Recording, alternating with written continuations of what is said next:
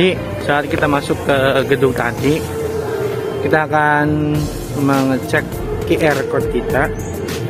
Nah ini QR kita, kemudian ini kategori dewasa ya. Kemudian dicek di pintu masuk. Nah setelah itu, oke baru kita masuk.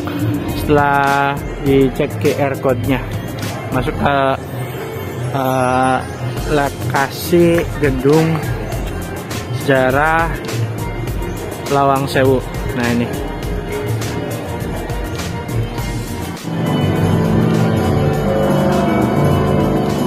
Nah ini kita sedang berada di Cagar Budaya Lawang Sewu ya. Tadi sudah kita masuk melalui pintu masuk yang berupa QR code. Kemudian pada bagian awalnya seperti ini. Nah kita akan putar-putar keliling Lawang Sewu. Oke. Okay.